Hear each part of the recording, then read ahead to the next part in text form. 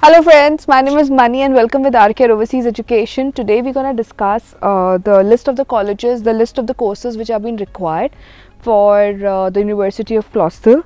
These are the courses which are English dot program and uh, I'm there at the Clausthal today but at the university I'm not available. I would be going to the university later and uh, it's very snowy here and uh, you can just see the deadlines and the requirements into this uh, video